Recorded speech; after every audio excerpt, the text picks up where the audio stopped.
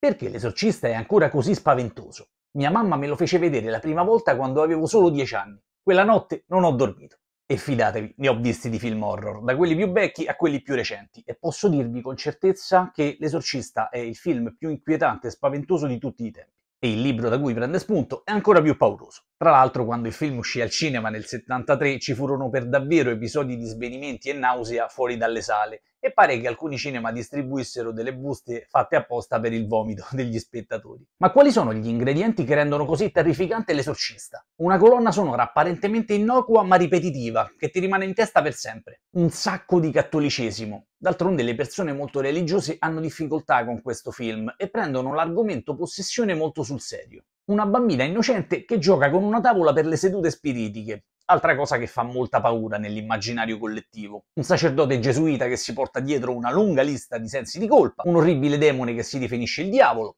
un altro prete gesuita che ha combattuto lo stesso demone diversi anni prima, la stessa bambina innocente che viene posseduta da questo Pazuzu, che parla con varie voci demoniache, che vomita, che pronuncia parole indicibili, che si violenta col crocifisso, che striscia all'indietro giù per le scale, che gira la testa di 360 gradi, che levita sul letto e che per salvarsi prende la vita di entrambi i preti. Insomma, non c'è niente di divertente nell'esorcista. Avete presente i film di Freddy Krueger, Halloween o Venerdì 13? La cosa che avevano in comune era una certa quantità di umorismo. Ci sono adolescenti che fanno sesso, che vengono massacrati, ma nell'esorcista no, non c'è niente che ti fa ridere a parte le scene del vomito e della possessione, ma solo quando te lo rivedi. E il motivo per cui è così terrificante è l'aspetto religioso. D'altronde ci sono stati parecchi casi documentati di possessione, e questa fu indubbiamente la prima storia in cui emergono tutti questi elementi al cinema. Si dice che la maggior parte delle persone possedute fossero molto religiose e che siano state possedute dal demone proprio per mettere alla prova la loro fede. In questo film il demone perseguita un'anima innocente e la tortura quasi fino a morte, nella speranza di sconfiggere il suo acerrimo nemico, il bene. Il bello di questo film è che ha pochissimi effetti speciali e si basa su una certa quantità di scetticismo e sulla speranza che la religione possa avere la meglio sul male in vista del finale. E anche quando il regista ti induce a pensare che possano essere solo i sacerdoti a salvare la ragazzina,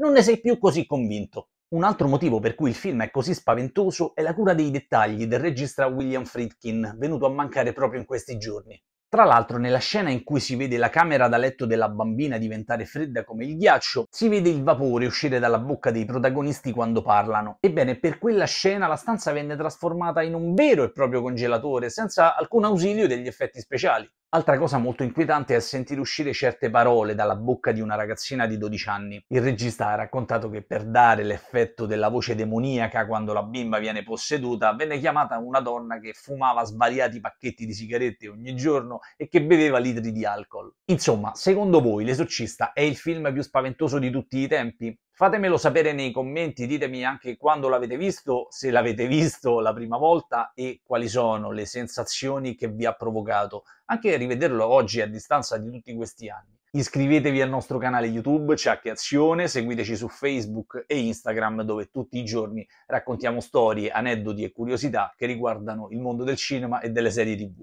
Al prossimo video!